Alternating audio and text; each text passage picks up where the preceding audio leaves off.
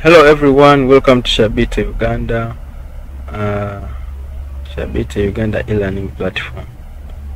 You can email us at e-learning at sharebility.net or you can contact me on 0708 990034. Today's topic is about transatlantic trade. In this lesson, we shall look at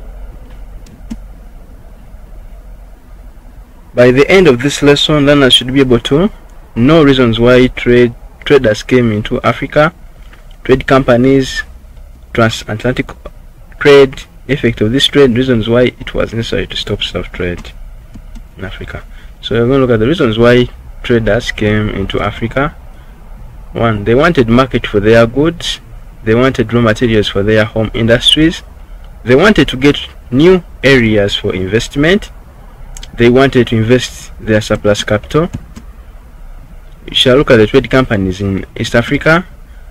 These were companies that were created to carry out trade and of these included IBEACO, Imperial British East African Company, was formed to administer East Africa on behalf of the British and was formed by Sir William Mackinnon.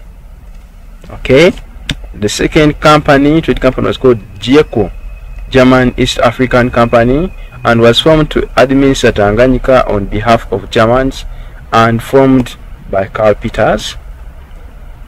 Shall look at the transatlantic trade. This was the trade between Europe, South Africa, North America, across Atlantic Ocean.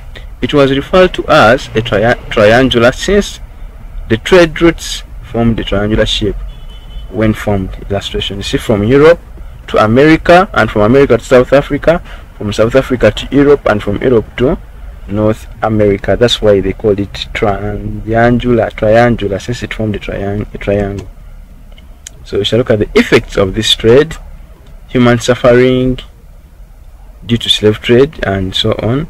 The population in some parts of Africa new diseases like measles led to introduction of new crops like cocoa led to decline of African craftsman industry. Thank you very much for watching. We love you so much. Feel free to email us at e-learning.net or contact me on 0759 522 551. Subscribe in case you are new. We love you so much. God bless.